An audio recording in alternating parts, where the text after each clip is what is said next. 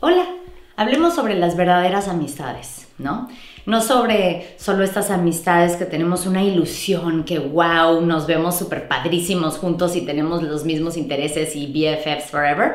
Las verdaderas amistades, las amistades que sobreviven las crisis, las amistades donde puede haber un grado de honestidad, de vulnerabilidad, em, pero sobre todo de aceptación plena, donde aunque yo no sea como tú, aunque tengamos intereses distintos, aunque la vida nos lleve por diferentes caminos, aunque tengamos distintos puntos de vista, podamos como trascender a todo eso para seguir queriéndonos eh, y cultivando algo.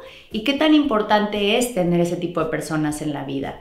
¿No? Es, es muy interesante conforme vamos creciendo, cómo hay personas que entran a nuestra vida, salen, em, hay conflicto o simplemente como que van haciendo fade out, pero cómo hay otras personas que ahí están, ahí están, eternas, para siempre. Y eso no quiere decir te escribo diario y sé todo sobre tu vida, no.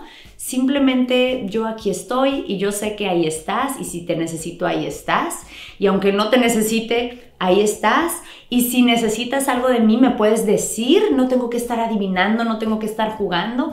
Y hay algo mucho más grande como que te une energéticamente, universalmente a esa persona, como si hubiera esta hermandad, como si fueran tu clan de encarnación, lo que quieras llamar, como si fueran parte de tu destino, eh, con ciertas personas, que es mucho más grande que todo lo que va y viene, que es algo mucho más eterno. Entonces, si hay gente en tu vida que tiene esa atemporalidad, ese, ese momento eterno para ti, de cómo es bien importante que los valores, que no nada más te dejes como llevar con el wow de las nuevas amistades y la gente emocionante que hace cosas padres, sino valorar a las personas que siempre están, a tus personas eternas, a tu familia que cósmicamente te corresponde.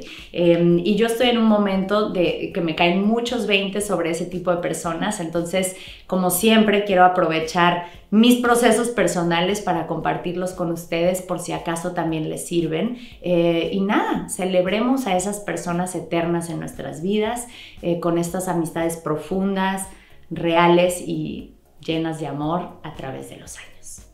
Que vivan.